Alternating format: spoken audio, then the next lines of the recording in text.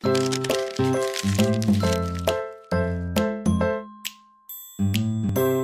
there, this is Heather with TwoBlooms.com and in this Lightroom tutorial I'm going to explain to you what a Lightroom catalog is, how it works, and how you can get started with using one. So if you're new to Lightroom or even if you've been using it for a little while and you still don't understand exactly what the catalog is for, then this video is going to be very helpful. So basically what the Lightroom catalog is, it's a reference to your photos. It stores information um, that you apply inside of Lightroom. So it stores metadata, keywords, um, all of the stuff over here that you change in the library mo module as well as the develop module. Any changes that you make in Lightroom are stored in the catalog and they're not actually applied to your original photos. So that's what makes Lightroom non-destructive is that it's storing all of this information in the catalog. So Lightroom can reference this information and your original photos are untouched. So if I go over here to the develop module, I can show you the effects that I changed on this photo. I can go into my original fi uh, folder file on my computer and I can pull up this exact image and you're not going to see these changes, you're going to see the original. So this is only applied to your photo when you go to your library module and you export.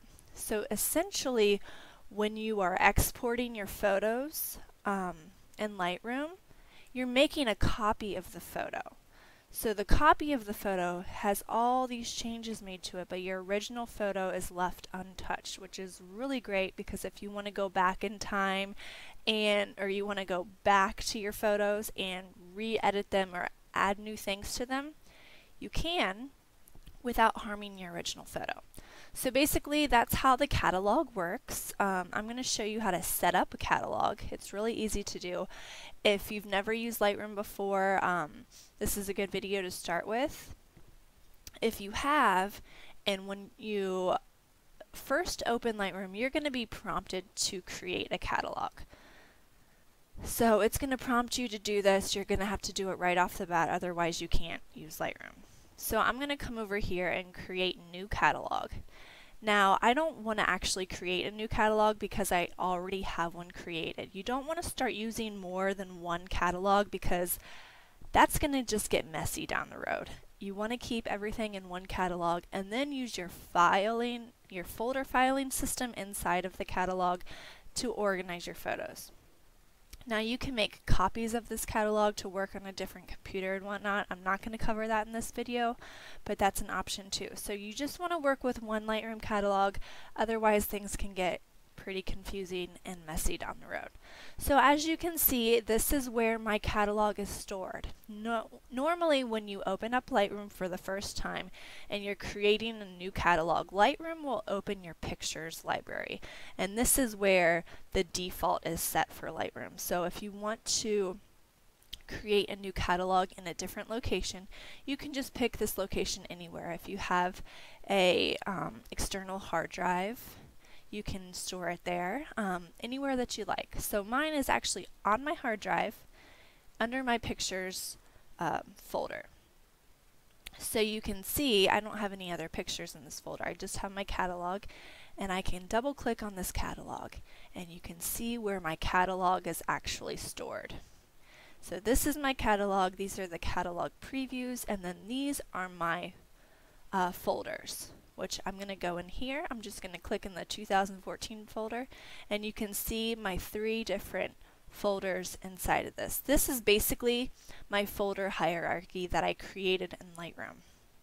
Now if you're wanting to organize your folders in Lightroom, do it in Lightroom and not on um, through your computer, through your um, your picture library. So if I were to go under photography. You can see that I have these three folders and whatnot. So this is how I set it up in Lightroom. So I'm not going to, like I said, I'm not going to create another catalog, but this is how you create a catalog or where your catalog is stored. So I'm going to go ahead and click cancel. So down here, you can see where my catalog is and you can see all the photographs that I have in my catalog. And then if I come down here to folders, you can see where my folders are being stored on my hard drive. And then you can see the four folders that I had initially set up where I showed you that are on my hard drive. And then I can come down here and then I had the three the three folders inside my 2014 folder. So really easy um, to keep everything organized in one catalog. So that's basically how to create a catalog and what they're used for.